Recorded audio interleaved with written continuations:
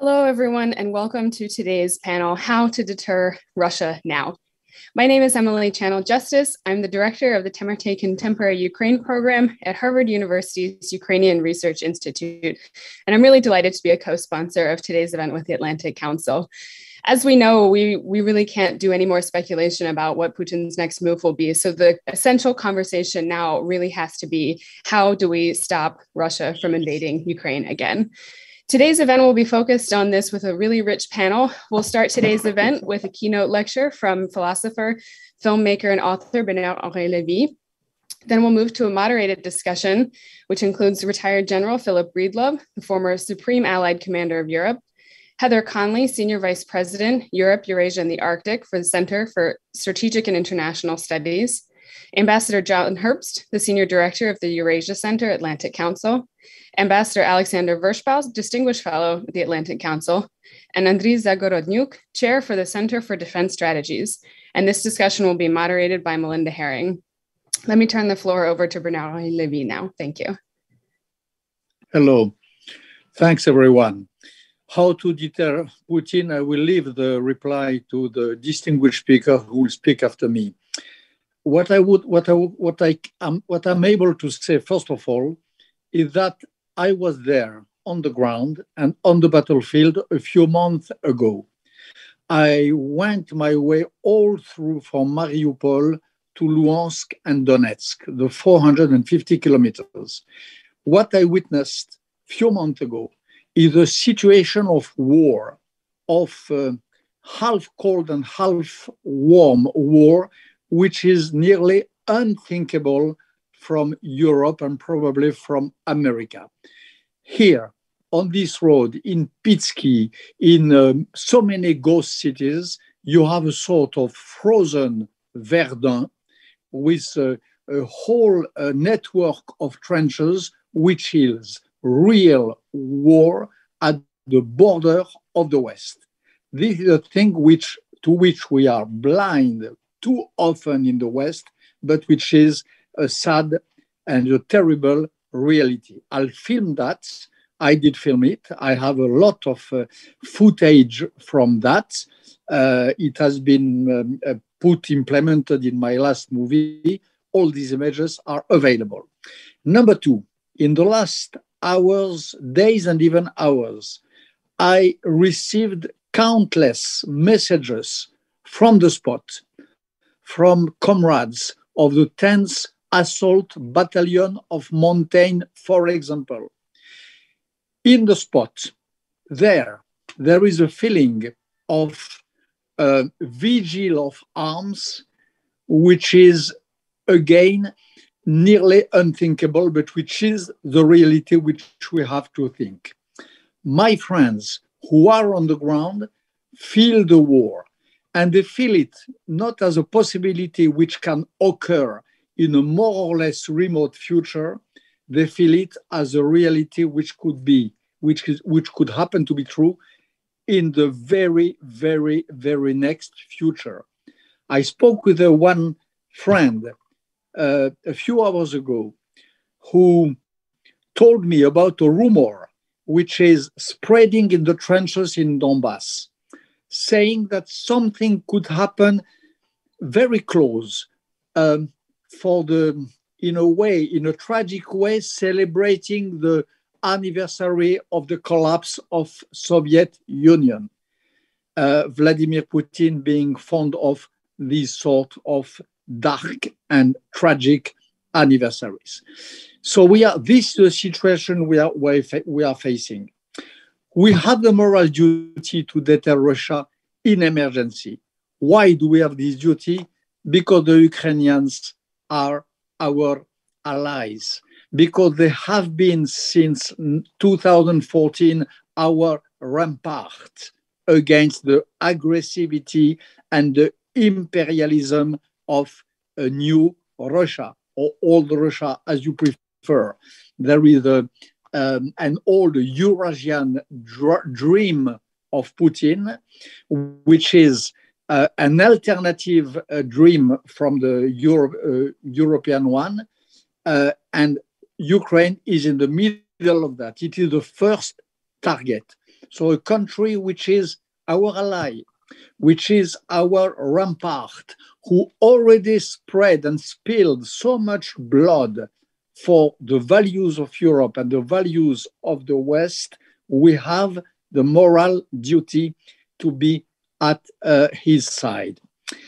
I would like to add that we have maybe more important than the moral duty, the political duty to do so. Political duty. Because if in the next weeks or days or hours, the Russian army happened to invade Donbass under the pretext that Donbass have been in the remote past part of Russia, under the pretext that every place in the area where you have Russian speakers belong to Russia, it is the real Pandora box which will be opened for all Europe. Thereafter, there will be claims in Spain by the Catalans, in Romania by the Transylvanians. What about Belgium? What about Switzerland? Not to speak uh, uh, about, uh, I don't know, even parts of America where you speak, of United States, where you speak Spanish and so on. If the West accepts, puts the tip of the finger in this narrative of Putin, in this so called common sense, which says that where you speak Russian, Russia is, it is a terrible precedent for all the organized uh, world.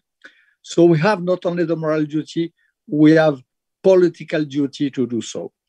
And I will want to say uh, last word that uh, um, if you see the situation from Ukraine, and again, I, I am receiving in the last hours so many calls from good friends from there. There is a, a real anxiety about the American reply. Ukraine, Ukraine received a lot of good words from America and from Europe um, the, the, the new Minister of Foreign Affairs of Germany, President Biden, President Macron expressed some strong words. But what are the acts for the moment? What are the concrete propositions of deterrence? What is the calendar, except let's meet with, with Mr. Putin in January?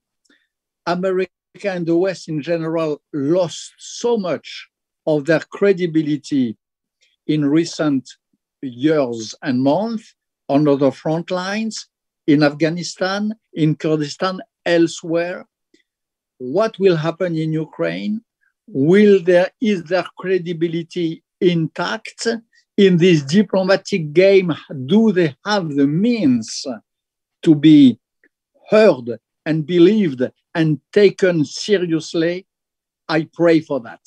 Because if Putin happened to invade Luhansk, Donetsk, Pisky, Cherokee, all these cities in Ukraine, it will be a very, very dirty war. This is what I foresaw when I was there a few months ago.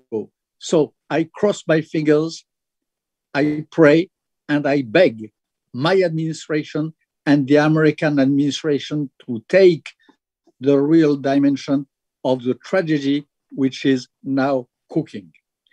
Thank you very much. Merci beaucoup. Thank you so much, Bernard, for those profound remarks and for that warning. We're, we're so delighted that you were here with us. Thank you for your leadership on Ukraine and around the world. Now it's my pleasure. And Bernard, we can't wait to host you at the Atlantic Council in person in January. So we'll look forward to seeing with uh, you then. And in the meantime, you're absolutely right to keep praying for peace in Ukraine.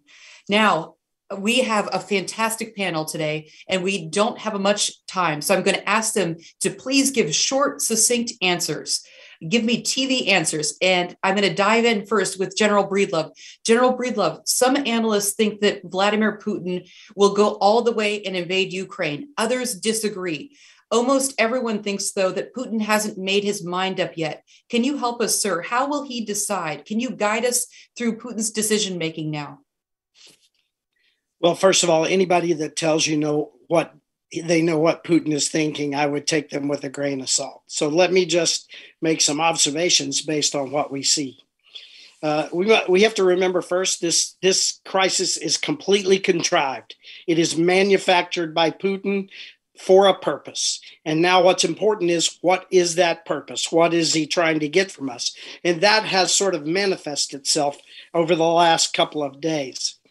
And we need to keep our eyes on the thought of protecting against the fall of Zelensky and, and protecting against the United States taking actions that might be inappropriate vis-a-vis Ukraine, vis-a-vis NATO, etc. That we stay on our turf and work with our allies rather than speak for our allies. I think Mr. Putin's made a huge investment, and that brings uh, a need for recouping from that investment. He's going to want to get the demands that he has made. And i believe that he will continue to use this this moment that he has manufactured and the power on the ground until he gets those. I do believe he's taking a look though at the cost. And finally i would just say again we have to be careful not to reward bad behavior. Uh, we we need to avoid playing this game with ukrainian chips or nato chips. We need to stay in our lane and not sell out our allies and bring along our allies and others and involve them in the things we do. We have to focus on concurrent progress on Minsk and Normandy and get a seat at the table, in my humble opinion. And finally, we need to remember that the rest of the world is watching for the results of this bad behavior. Thank you so much, General. Appreciate that. Andrew, you are uh, the former Minister of Defense of Ukraine and in Kiev, so it's great to have your perspective. Uh, if Putin invades, what would he likely take and what's his end game? I think a lot of us here are trying to figure that out. Could you please uh, run through the most likely scenarios? Uh, thank you. Thank you very much, Melinda, and thank you for invitation. Uh, first of all, uh, I think that deconstructing all behaviors, deconstructing all scenarios, and uh, we, we're doing this pretty much, you know, 24 seven here. Uh, I don't think he, uh, they actually plan uh, that this the likely scenario would be actually invasion. I think they want the uh, West to think that they are the invasion is imminent. I think they want the West to be scared. I think they uh, want the West to, to say, okay, we need to do anything to avoid invasion and at the end they want west to make concessions and then uh, with a great sort of um, you know gesture they they will agree not to invade. And uh, as uh, some analysts including in us said uh, institute of war studies for example they said that if putin didn't want to invade for the first place then he will get all concessions pretty much giving up nothing. Uh, and that's i think the most likely scenario and i think that's that's the plan a for them uh, because plans A, B, C, whatever else looks quite bad for Putin, to be honest. Because what, what, what, I mean, he will have a huge resistance in Ukraine. The Ukrainian armed forces are ready to uh, apply all their um, capabilities. Obviously, they have huge gaps of capabilities. We know about that and obviously uh, the, the, Russia will be able to advance quite significantly in the case if they're talking about a full-scale invasion. But recent polls, which we kind of suspected, but we did recent like statistics polls and, uh, and, and and so on, are showing that a huge number of Ukrainians want to uh, and are ready to defend, participate in either territorial defense or resistance and so on. A very very small fraction of Ukrainians want to live or even like are happy to live under Russian rule. So, which means that you will, uh, even if he gets some territories, it would be very difficult to imagine how they're going to hold them and how they're going to run an effective occupational administration. Uh, they don't have. We know that they're spending about two to two to four billion U.S. dollars a year to support uh, uh, basically non-existent economies of uh, so-called LNR DNR. Uh, but uh, it just it's it's unimaginable if you can extrapolate that to the territory of Ukraine. Um, uh, occupying one or two cities will do, do not give them any um, doesn't give him any any uh, strategic uh, advantages, but it uh, starts all the sanctions and all kind of resistance and everything. So essentially, there is no point for them to to to to have a small local kind of a wars. The only the only way it would matter if they start a full-scale invasion of the whole country or at least half of it, like let's say left left bank and Odessa area and that, that sort of thing. But then we're talking about a major war in Europe, probably the biggest since the World War II. And in this case, we'll have a substantial economic crisis for the whole Europe. We'll have millions of refugees. We'll have a, a lot of lost investments and so on. So, how your Russian economy will be able to withstand that sort of pressure from the world uh, for starting that, it's very difficult to imagine. But certainly, uh, Ukrainians can promise Russians to to return back many body bags and many wounded soldiers, and we're talking about thousands, uh, probably in a very short period of time, thousands and thousands. That's not going to be politically uh, welcome in Russia because the Russians very will find it very difficult to explain why what they're actually doing in Ukraine. So generally speaking, uh, we have about 15 or 16 scenarios of what they can do without a full invasion, which will get us to get the West really be scared, Ukraine really be stressed. The world will be talking about the potential invasion. So, like information uh, wise and stress wise, that would be all got to the very limit. And I, I think they will apply all possible tools in order to um, reach the concessions through those means, rather than uh, uh, rather than face uh, an absolutely uncontrolled scenario, uh, which would be for him the uh, the actually the attempt to invade Ukraine. Thanks, Andrew. I, I definitely want to Thank pull you. on some of those threads in a minute, especially on the insurgency sure. thread. But I, I want to br- I want to bring Heather into the conversation now. Heather, can you please um, help us? How can the West get Putin to leave without appeasing him? I think that's the big question. Thanks, Belinda. Uh, you know, uh, I don't believe we can, uh, and and in some ways, um, it, the Kremlin understands that this is an escalate to accommodate strategy, and and the West has has certainly followed that approach, uh, trying to dialogue our way through this. I do not believe uh, Mr. Putin will be satisfied by any of this. And I, I agreed with Andrei uh, and, and, how he cast this. Uh, the cost will be great for the Kremlin until the Kremlin actually published the text of the security treaties for the US and, and for NATO. And what uh, President Putin just said yesterday, there is no going back. And so I think it now is starting to cut off even uh, Russia, uh, you know, trying to take a step back. And, and tragically, the Biden administration has now agreed to talks once again without requiring Russia to pull away from the border. At least that occurred in June uh, when President Biden met with President Putin. President Biden was asked on the margins of the Geneva summit, in somewhat testy response, would his policy of seeking a stable and predictable Russia, would that work? And he said, we'll know in six months. We now know in six months. And, and what this tragic pattern has occurred is the Russians escalate, they get a summit, they get big dialogues, nothing changes. So they will see how long they can accommodate. But the problem is they now have set a bar so high so publicly. My fear is they have talked, uh, Putin is trying to restore this historic um, loss, as he's told us in June um, at the 30th anniversary of the collapse of the Soviet Union. He's already strategically lost Ukraine in 2014, and he lost it again spiritually in 2019 with the autocephaly. So, this is his attempt to restore this, uh, and I, uh, this will be the defining foreign policy issue for the Biden administration. And I hope they understand uh, the stakes here are absolutely enormous. Thank you, Heather. Sandy, same question. How can the West get Putin to leave without appeasing him? What are your thoughts on that? Well, I agree. We're we're very close to what may be a point of no return for Putin, and I think you know I agree that the publication of those two uh, draft treaties uh, basically uh, removed most of Putin's maneuvering room by making those public. He's kind of making it almost impossible uh, for us to find some kind of way to, to de-escalate on, on, a, on a fair basis that would mean he would pull back his his forces. And I think we were seeing that he's he's quite serious in his paranoia about NATO. Uh, he does see NATO as uh, sort of the number one bogeyman that uh, you know is the instrument that the main enemy, the United States, is using to uh, both undermine the Putin regime at home and deprive Russia of its great power status, which for Putin means uh, a sphere of influence and a free hand to dominate its neighbors. So uh, I, I judge by Putin's statement uh, yesterday at the Ministry of Defense that he really believes that if he doesn't act now, he will uh, lose Ukraine forever.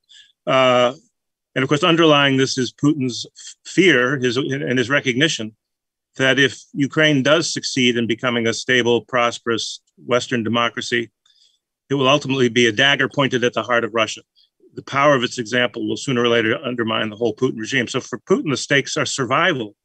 And that's why uh, he, he, himself said there's no retreat anymore. Uh, even though this is a manufactured crisis, as General Breedlove pointed out. So, uh, you know, we have to continue to try, even uh, as we are pessimistic about where this is going, uh, to, to strengthen deterrence. I think the Biden administration has sent a lot of mixed signals. You know, Nord Stream 2 has been uh, hopeless in how we've handled that, even if it, even though uh, it's our main leverage or one of, one of the main point, points of leverage. And uh, if we agree to talks without any pullback of the troops, it also will be another signal of weakness to the Russians uh, that uh, uh, they've got us where they want us. Uh, that would be a, a, tragic misreading. I think that there is greater unity now among allies. ironically, Putin is very successful in bringing NATO together, as he did in 2014. He may do it again. you know, it's hard to believe, but 20, 25 years after the NATO Russia Founding Act, we're still observing the commitments that we made not to deploy nuclear weapons or substantial combat forces uh, along Russia's borders. Well, that's going to be all bets are off for that. Putin's going to create a much more threatening environment for himself if he goes through with this. And that's why you know, there may still be a, a, small chance of convincing him to pull back. Uh, but we have to play our cards much more skillfully than we've been doing not le- not take anything off the table, including the use of force. Uh, it was good that somebody leaked to David Ignatius the possibility of supporting an insurgency, uh, being ready to put a little, at least some skin in the game, not necessarily uh, going to war on behalf of Ukraine, but some skin in the game may make the difference in uh, convincing Putin uh, to, to, to rely on posturing and not actually use force. Great point, Sandy. Let me ask you one follow up. You mentioned President Putin's statement yesterday. What do you make of uh, the defense minister, the Russian defense minister's statement that there's an American military, private Amer- American military companies in the Donbass, and, and they're uh, uh, thinking about a chemical weapons attack? What, what, what does that mean? Well, as far as I can tell, that's a total fabrication, but it's typical of what you could expect the Russians to do uh, to justify an invasion and blame it on NATO, blame it on the Ukrainians. I mean, they're using every uh, argument that they can muster. They're, they've used the old broken promise about NATO enlargement supposedly made to Gorbachev, which, by the way, somebody raised this in the Q and A. Uh, Gorbachev himself refuted this several years ago, and I'll put the reference in the in the chat after I finish speaking. Uh, but uh, fabricating the the idea that the U.S. is about to put hypersonic missiles or Tomahawk missiles uh, in Ukraine uh, when NATO has announced that it's not putting new missiles anywhere, even in response to the Russian violation of the INF Treaty. That's something that also should be revisited. Uh, but uh, he will cook up whatever myths and fabrications he needs to convince his own people that it's not Russia's fault. Uh, but I don't think uh, this is going to be very convincing to the international community. Thanks, Sandy. Ambassador Herbst, you've praised the Biden administration for handling the, the crisis capably. However, since the Biden Putin video call on the 7th, Putin has not de escalated. His demands um, on NATO have only grown. And it looks like he got a meeting with the United States without de escalating. Is Biden blowing it? How would you assess the US so far, the response? I, I praised the initial response uh, when we, during the press conference um, Tony Blinken had with Ukrainian Foreign Minister Kuleba in the middle of November, where we laid out the three things we would do if Moscow um, invaded, meaning major, major sanctions, uh, military arms to Ukraine, and pre- uh, putting out more NATO forces in the Eastern allies. Uh, in other words, in the Baltic states and Poland to demonstrate to Moscow that any strategic gains they think they got in Ukraine, they're going to lose elsewhere. Unfortunately, though, um, we've seen alongside that initial strong response um, wavering and weakness in dealing with Kremlin provocations. Uh, but I need to talk first about cyber to explain this. Uh, the, the Kremlin has been provoking us on cyber since May without any response from the administration, besides words. Biden laid down clear red lines in Geneva, which Putin broke in early July. Biden laid down those clear red lines again in phone calls to Putin in July, and Putin broke those in September and October. At the same time, we were looking like patsies working with Russia on a joint resolution introduced at the UN on cyber. And worst of all, the administration released a major Russian cyber criminal to Russia, whom we spent years extraditing. Putin learned in cyber that he could push Biden around with impunity. And this may explain the difference between the crisis on Ukraine's border in, in the spring and the crisis on Ukraine's border now. In the spring, we effectively but we effectively pushed um, Putin back. Today, we have not. And this comes back to now what's been happening since that strong response in November. Uh, right after the strong response, we began to talk about a virtual summit, which again was, as Heather pointed out, a gift to Putin. We have the summit, and what happens? Uh, we have continuing Russian provocations. The United States is talking about let's have talks, and Russia is talking about steps that pave the way to war.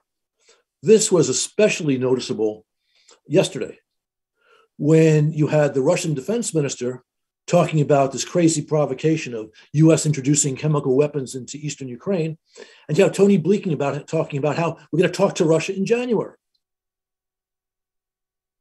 It's like the bear versus the deer, and we know who wins in that scenario. So we have conveyed weakness um, fairly regularly, especially on cyber, but also on on um, Ukraine. Now, I need to make one more point. I'm sorry if I'm going on a little bit too long. Um, I don't think we've reached or even approached quite the point of no return. I don't have any doubt that Putin can turn his policy around on a dime um, if he feels the need to. I agree uh, with Andre and to a certain extent with Heather that Putin is playing for the concessions he will get from us by threatening. And I don't have any doubt that there'll be many places in Europe that will, you know, uh, issue a sigh of relief if Putin only, for example, grabs Mariupol, or if Putin only moves his troops halfway from the Russian border towards Kharkiv, and say, well, look, there's no, no war, let's not put any sanctions down. And Moscow could play, play for that. And sadly, I think there may also be some people in Washington who will have a similar reaction. Uh, the game is show strength. We are far stronger than Russia in any category of national power. And while Russia can march into Ukraine with impunity. It will take hits that Andrew described militarily. If Biden keeps his promises on sanctions, they'll take major economic hits, and Putin understands that. We have a position of strength. If we make concessions, we've made concessions, and it's been to our cost so far. Um, it's still not too late, though, to make a very strong stand now. But we have to stop this talking about having talks while Moscow is threatening war. Thanks a lot, John. Heather, on, on, John's point on sanctions, can you help us a little bit? Because there, there's uh, some confusing signals. So, two weeks ago, it looked like the Biden administration had been doing all kinds of shuttle diplomacy and putting together a really strong package on sanctions. It looked like Berlin and Paris were two thumbs up. Last week, Bloomberg reported that Paris and Berlin were not two thumbs up and that they wanted to talk rather than, than think about sanctions. Are, are they going wobbly? What's, what's the latest? And if there was a change, why? Well, I, I, think on the one hand, uh, the Biden administration does need to be commended. Um, there was a lot of consultation, and and the European Council meeting last week produced a very strong statement. Uh, NATO uh, has produced very strong statements, so I think they are very conscientious and conscious that this this message of strength and unity on sanctions. But you're absolutely right beyond those rhetorical statements, when the rubber meets the sanctions road, that's where we're going to have problems. For the 27 European Union members, uh, additional sanctions against Russia requires unanimity, and, and that's going to be challenging. Uh, let's also be clear the type of devastating sanctions that we are talking about will have an equally devastating impact on the European economy at a time when energy prices are very high, exacerbated by Russia squeezing and limiting energy supplies through the Yamal pipeline. That is, again, an added tactic of pressure, as well as, as high inflation. Um, and, and it is exactly as uh, Ambassador Herbst mentioned. I mean, Europe takes its cues in many respects from Washington. So when Washington starts uh, focusing on the dialogue, and let me be clear dialogue is important, particularly when tensions are high. We have to keep channels of communication open to Moscow. But when it seems like dialogue is uh, in some ways the path towards concession or accommodation, that's where um, you then started to hear as the Biden administration was focusing on uh, the bilateral, the US Russia talks, and then the NATO Russia Council, OSCE. Then you had President Macron and now uh, Chancellor Olaf Scholz uh, in Germany speaking to Putin, talking about this dialogue. Uh, no one wants to sacrifice their economy uh, and, and, during these very challenging pandemic days. However, um, our principles are going to require transatlantic sacrifice, uh, not only strong military deterrence and support for Ukraine, but if we hold these values, we are going to have to do this. And I am concerned um, that uh, Europe rhetorically is saying the right thing, but this is going to be exceptionally difficult for all 27 countries to, to really do very painful, painful steps. So let's hope we don't have to do that. But uh, I, I, think you're seeing the wobbliness because they're, they're not exactly sure where the US is going to come out in this. Thanks, Heather. That, that, that's that's great insight. If you're just joining us, we have five phenomenal experts and we are discussing how to deter Russia now. We'd love your questions. If you're in Zoom with us, go ahead and put those in the Q&A. If you're on Twitter, you can send them to us. I will read your question uh, and get a response. I will direct it to the right person. General Breedlove, I'm looking at you now. So the Biden administration is talking about arming Ukrainian insurgents. Will that strategy work? Is well, that a good idea? Uh, certainly, as several of our uh, panelists have discussed, we can uh, help the Ukrainians to increase the cost of taking reckless action in Ukraine.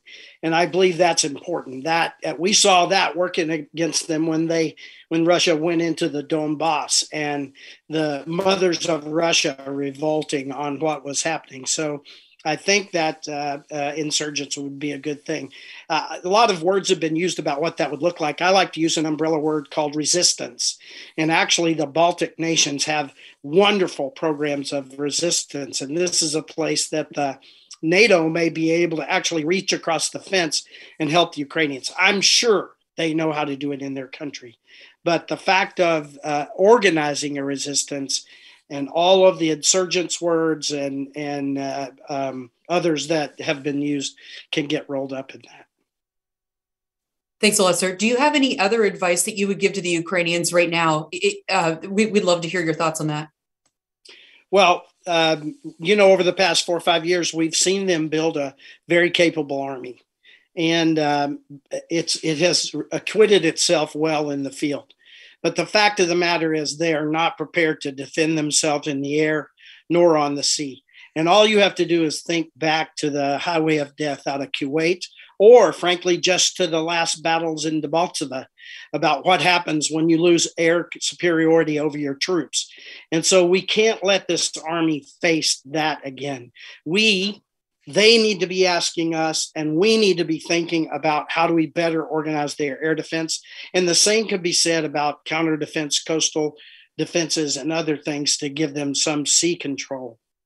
Um, and as you saw just recently in the last several days we've sent some cyber teams there to help them because this this gray zone attack that is going on now not waiting for it. The gray zone attack that has only intensified across the last several weeks inside of, of Ukraine needs to be addressed. And there are places that we could help in these gray zone areas, our Ukrainian brothers and sisters. Thank you so much. Really important points. Andrew, I'd like to ask you uh, your foreign minister, Dmitry Kuleba, wrote in Foreign Affairs that Ukraine needs air and missile defenses now. He also said that ammunition and medical equipment are helpful. Does sending these weapons deter Putin or, or merely provide Putin with another pretext for invasion?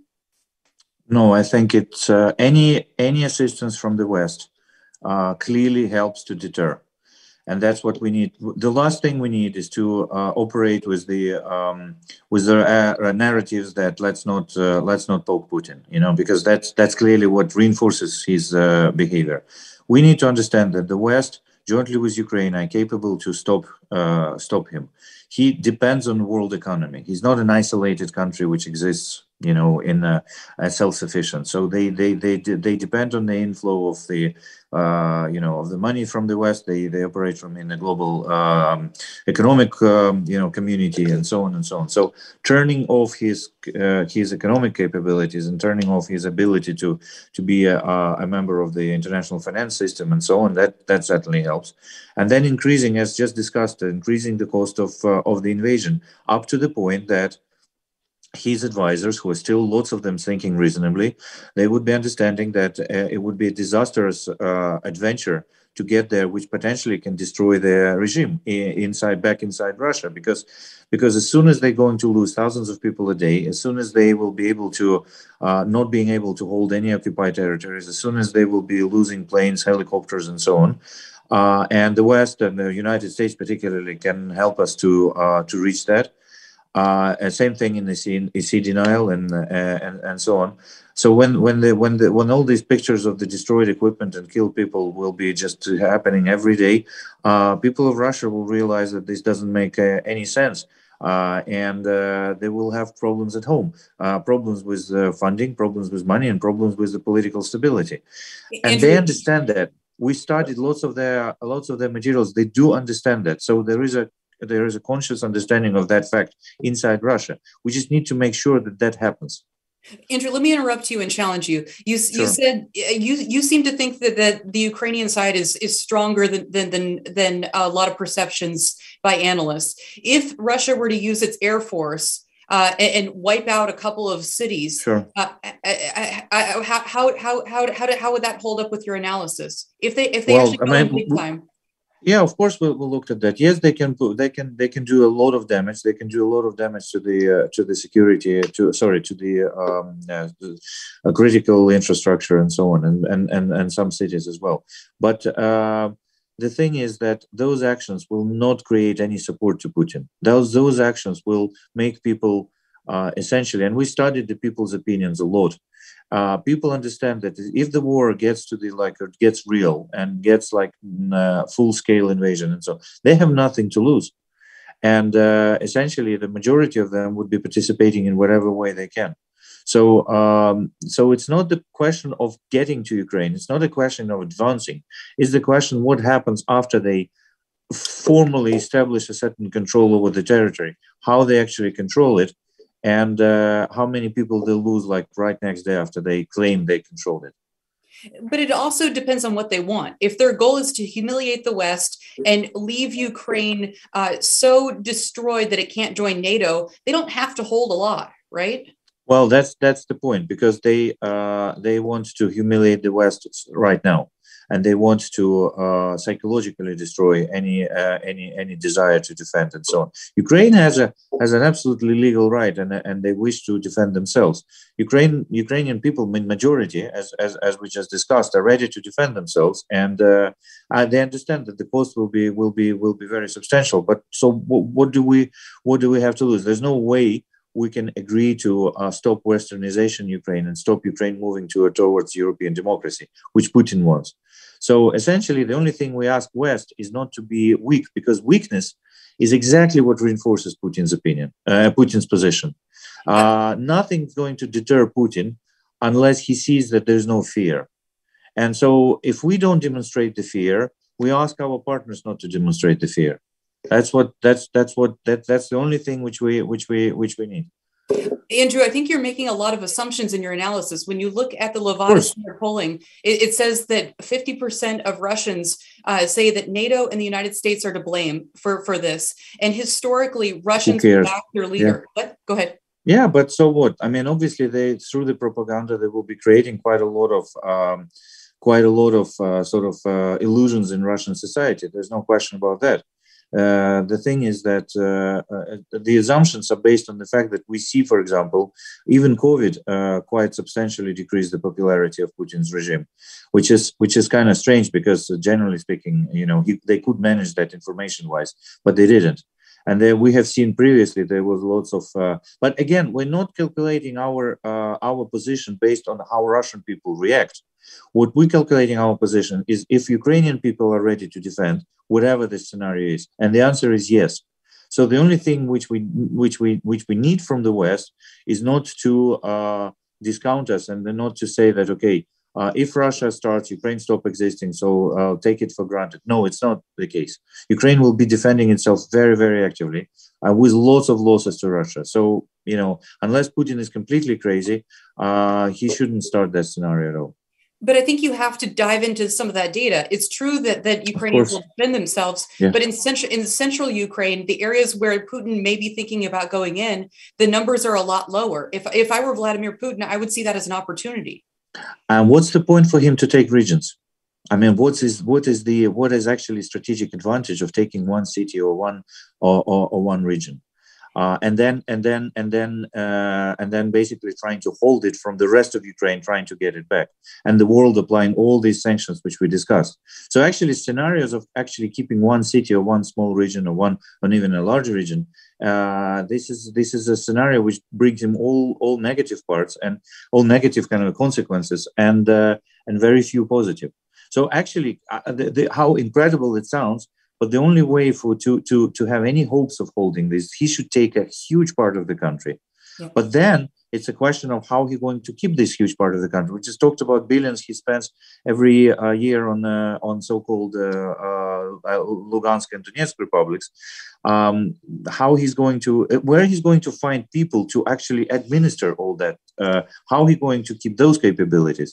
So that's um, you know uh, yeah, advancing is not a problem for him. Yes, he can establish air superiority. And by the way, tactical aviation and air defense and uh, and the navy are very weak against insurgencies.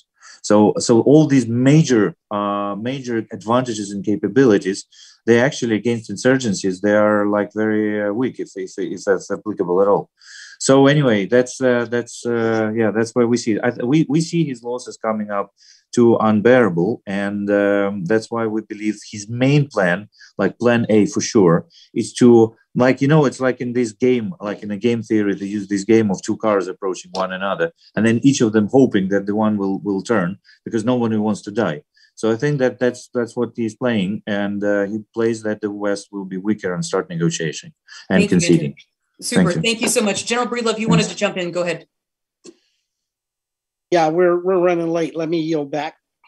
Okay, thank you. Sandy, question for you. Why is Germany refusing to allow NATO to sell weapons to Ukraine? And is there any way around Germany's no? Well, I would say, first of all, it is unfortunate that uh, Germany is getting a reputation of uh, restricting support for Ukraine at a time when the West needs to be united and showing that it's standing by Ukraine, helping uh, raise the costs to the Russians, not only through sanctions, where I think the Germans will will come around, I hope, on Nord Stream, uh, but also in terms of military support. Uh, this actual case that's been in the news is, is, is, maybe not as big a deal as it has been portrayed because it only pertains to some specific weapons that the Ukrainians have been trying to get from the NATO Support and Procurement Agency, NSPA, where there is a requirement for Allied consensus and uh, there were two systems. In the end, the Germans relented on uh, some anti-drone rifles, which sounds like a pretty useful capability, given how the Russians are abusing uh, the use of unmanned vehicles.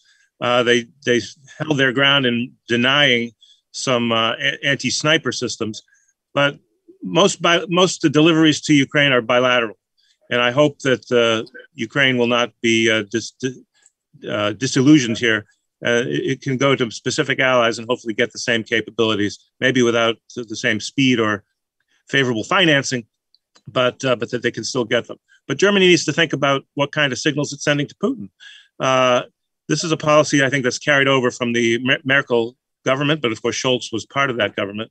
Hopefully, the Greens, who seem to be more uh, hard line when it comes to supporting Ukraine militarily, will bring about a change in in, in the policy of the new uh, coalition. I certainly hope so. Thanks, Sandy. That's really helpful. Ambassador Herbst, you've been saying something really interesting lately. You said that the single most important factor to watch regarding how the situation plays out is how Putin view, uh, views Biden. Does Putin respect Biden? Um, I don't know whether or not he respects him. But Putin learned through his cyber provocation that Biden could be challenged, his buttons could be pushed, and he will not necessarily respond. And that's a very dangerous conclusion for Putin to draw. It doesn't mean that conclusion is for all time. But the handling of the crisis on Ukraine's border over the past four or five weeks unfortunately contributes to that opinion. Um, Sandy mentioned, for example, the handling of Nord Stream 2 um, you had Jake Sullivan saying that, well, perhaps if Russia goes into Ukraine, Nord Stream 2 will be used. That perhaps that Vosmozhna in Russian is a disaster. Uh, we need to send very clear signals that we are going to strongly use all of our power, minus necessarily American troops, to make Russia pay a very high price. And we're not doing that right now. And that, that can be changed overnight. But the White House has to realize that if they continue to make concessions, even small ones, to the Kremlin, the Kremlin will not back down. They will continue to threaten in order to gain more concessions. And that's Thank a so- very serious problem. Thank you, Ambassador Herbst. We have a number of questions, and I'm going to get to as many as possible. Uh, if you could go ahead and unmute and be ready, uh, I'm going to call on you quickly. Michael Gordon from the Wall Street Journal wants to know, and I'm going to start with General Breedlove.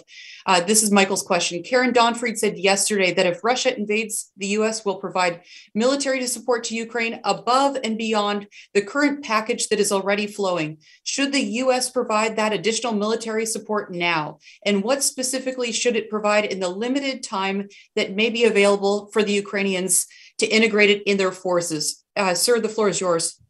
Yes, and we should provide things that they can almost immediately use. And one of those things, as was mentioned before, they do have some capabilities in air defense, but what they don't have is the ability to lash it together to be able to sense, discern, target, and assign weapons. And there's things that we could do almost immediately to help them with that. Could you give him any more specifics? I'm not going to use weapons names. People always want to hang these things on giving them one weapon, which I think is bogus. We okay. need to develop a capability for them, which is a, a, series of things that bring them to the ability to employ. Wonderful. Thank you so much. Uh, Sandy, Heather, John, Andrew, anyone else want to answer Michael? All good? Andrew? Please. Yes, uh, dealing with the US help for, from 2015, I can say that logistics sometimes it takes extremely long time. So uh, planning to do uh, things after the invasion or after invasion starts is almost uh, inevitably gets us in situation that we'll lose months probably uh, of, uh, of for de- for deliveries. So so yes, it would make sense to start doing now to in order to create this understanding that the process has started the capabilities are increasing, and as we are more ready, so the readiness is increasing, and so readiness is the best deterrent in any way, as we as we say. Uh, so absolutely, it would make sense to start like as soon as. Thank you, thank you so much. Sending weapons now would also send a strong signal to Putin that Biden is serious about stopping. It should be done now. Thank you, John. Uh, okay, question from Bill Courtney. Uh, in 2014, the Kremlin seemed to underestimate Ukrainians' will to resist in the Donbass. This is to Andrei Zagorodnyuk. Do you think the Kremlin might still be doing that? And you're muted, uh, Andrew. Uh, yes, they they may be. Uh, maybe maybe they they constantly underestimated people. They underestimated people in 2004 uh, during Orange Revolution. They did this in uh, the uh, Euromaidan Revolution of Dignity, and they did it during the war. Then they realized that, and so they adjusted. So we believe, uh, since they have institutes of like large groups of analysts working in Ukraine every day, I, I think they should understand that, and they should should realize this. What they do underestimate is how weak may, their regular army may be, and that's a risk because they do not have an independent, uh, either democratic or, or, any other oversight over the armed forces. Their armed forces is a closed capsule which reports directly to, to President uh, Putin, and they don't have any any independent oversight. Uh, that usually brings a situation to the fact that they overestimating their capabilities because they each level of military reporting uh, reporting only good news usually, you know, up upstairs. So uh, usually that's a cold shower. Uh, we they had that in 2014 when they sent troops and uh, had lots of losses, but uh, there is a risk that they may be overestimating their capabilities as we speak. Yes. Wonderful. Thank you, Andrew. Sandy, uh, question from uh, Mr. Gritsenko. It's great to have you with us, uh, Mr. Gritsenko. He says, Is it not clear for the Biden administration that, quote unquote, implementing Minsk agreements will kill both current Ukraine and its future? If it is clear, then why is the US leadership repeating that the Minsk mantra even now? I believe to force uh, Ukraine to implement Minsk is the main midterm objective of Putin. What's your response to that? Yeah. And I understand the concern, but I think the Biden administration is trying to square a circle here that's not necessarily easy to square. I mean, the, the fact of the matter is the Minsk framework, I emphasize framework rather than the agreements in some literal sense, is the only uh, basis for negotiations that we have. And there's a risk that if it's if you try to put that to one side and start from scratch, you're going to lose the vehicle that still keeps the, Uni- the European Union united on sanctions. Uh, so I think the administration has to make clear that Minsk is the framework, but that we reject the one sided interpretation of Minsk that the Russians have been putting forward, and uh, that we're prepared to engage in the negotiations in a much more active way to try to find some way to actually implement the, the intent of Minsk, which is to restore uh, the, the, occupied Donbass to true Ukrainian sovereignty, uh, but with some measure of local self rule in the occupied territories. It may be hard to do that. And Putin, of course, so far has made sure that Russia has blocked any real progress from the very first signature of those Minsk agreements. But if Putin is convinced that it's time to, to make a deal, uh, then I think there are ways forward that preserve the framework of Minsk, but avoid some of the traps that the Russians have laid with their one sided interpretation. Super. Thank you, Sandy. Question to Andrew again. Uh, this is from Robert. He says, "Is the case of in the case of a Russian invasion, how loyal and reliable will the Ukrainian general staff be? How big is the danger of collaboration with Russia inside um, at the senior senior staff level?" Yeah, that that that is one of the few things which we have uh, very little risk about. To be honest, I mean, to our estimations again, which are very subjective. Right now, most of the uh, most of the uh, senior leadership of general staff and generally military command have been replaced over the last couple of years, and uh, especially since the new commander in chief came, uh, General Zaluzhny, and uh, we see some very very talented leaders there. So I wouldn't look at that as the some you know any any any any risk or whatsoever. Obviously, people are people. And things happen, but uh, but from just profiling them and understanding who they are, uh, there's some people, there's some some generals with with a, already with a very deep battlefield experience, been to an action physically, you know, themselves, and so yeah, so so for, for that perspective, I think our uh, Ukraine is, is quite strong, very Super. strong actually. Super, thank you. Question for John and for General Breedlove. How can Black Sea NATO countries contribute in deterring Russian aggression and diluting the bargaining chips laid by Putin? John, go ahead first. Well, I think that there's uh, many countries around the Black Sea that understand the need to push back against the Kremlin. Romania, Ukraine, Georgia, to a lesser extent, Bulgaria and Turkey, unfortunately. And increased NATO patrols there, I think, would be a, a welcome step. I think that placing maybe some assets, uh, defense assets, um, maybe even missiles in, in Romania, perhaps also in Ukraine, although that, that would require closer closer um, consideration at this point in time, um, would give the Russian Black Sea Fleet um, pause. And uh, other steps can be taken as well.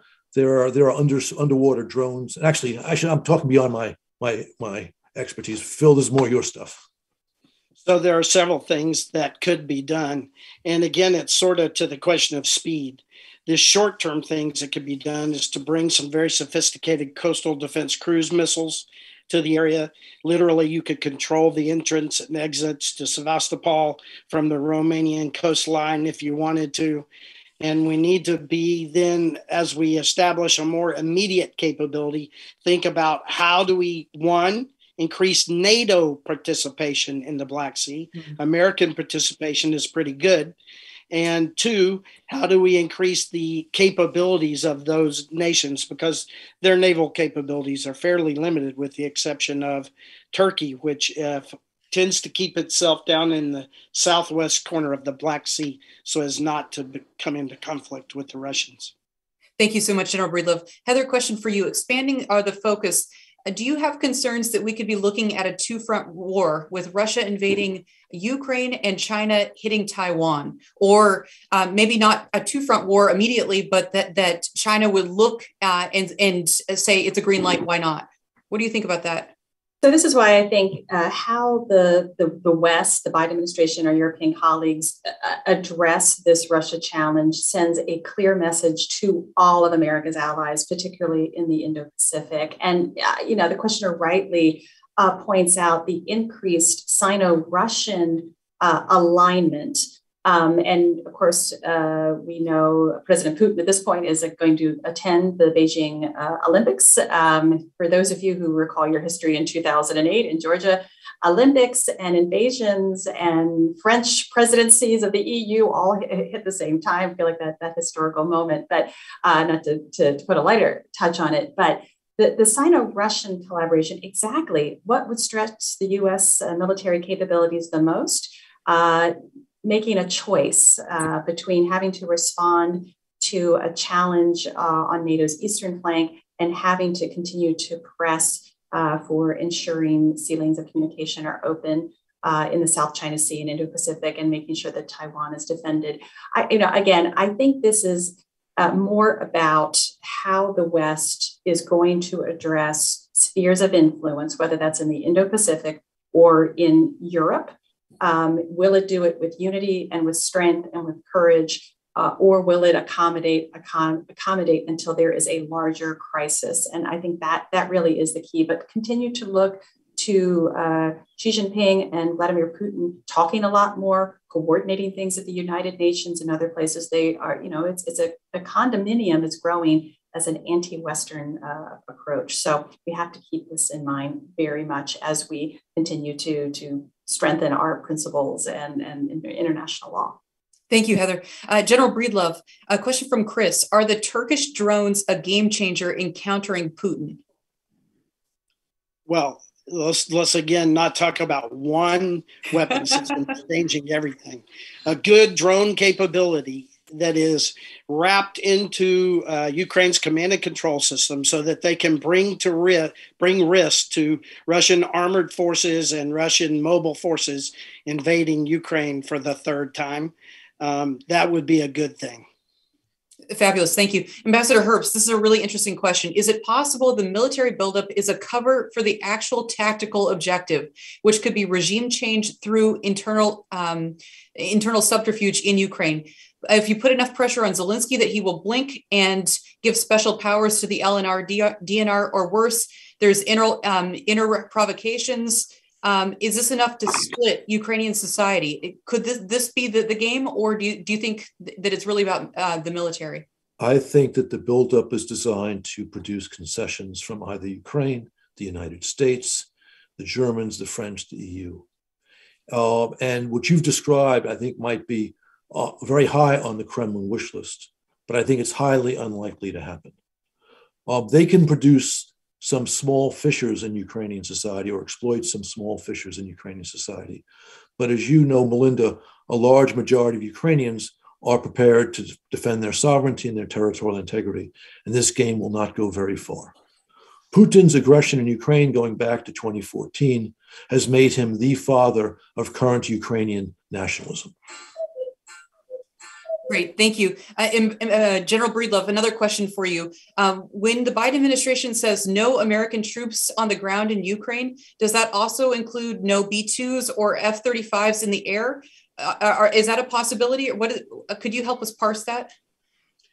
Well, I can't speak for the president about what he means, but uh, uh, factually, no boots on the ground can be accomplished by a lot of air power. So we'll just leave it at that. Okay, Super. Thank you. Thank you so much. Unfortunately, we are at time. We have to conclude today by thanking uh, our distinguished panel. Thank you so very much. Two of them are on vacation and they agreed to do this anyway. You guys are heroes. I'd like to thank uh, Bernard Henri Levy for his welcoming remarks. And I'd also like to thank the Harvard uh, Center and the Temerty Foundation for making this event possible. Folks, this subject is not going away, and we're going to be doing it again on January 6th. We wish you happy holidays, and we wish Ukraine peace and prosperity and the American, uh, the United States as well. Happy holidays and see you back in January. Thank you so much. Bye bye.